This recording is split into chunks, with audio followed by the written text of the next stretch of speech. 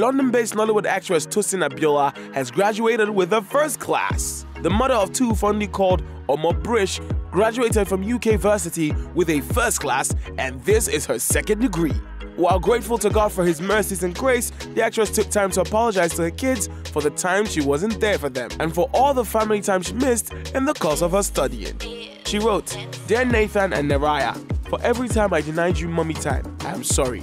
For every time I couldn't join other parents to go on a school trip, I am sorry. For every time I couldn't look you in the eyes because I was so engrossed in writing essays and meeting deadlines, I am sorry. For every time I couldn't go out with you to the cinema to enjoy a movie of your choice, I am sorry. For every time I couldn't listen to all your unspoken words, I am sorry. For every time I had to make excuses, I am sorry. For every time I couldn't read you bedtime stories, I am sorry. Thank you, my babies. I love you with every ounce of my soul and with every beat of my heart. Walk that path for you, and I'm proud that I did it. Yours forever.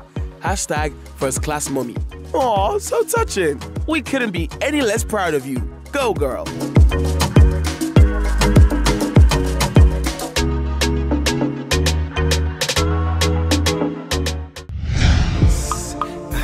I drink that liquor all the time. I drink that liquor all the time just to take away my sorrow. I watch Nollywood Extra all the time to feel good, just to feel nice. It's your boy S to the O to the M to the A Soma, and you're watching Nollywood Extra. Keep it locked down. Throw the keys away. You know what I'm saying?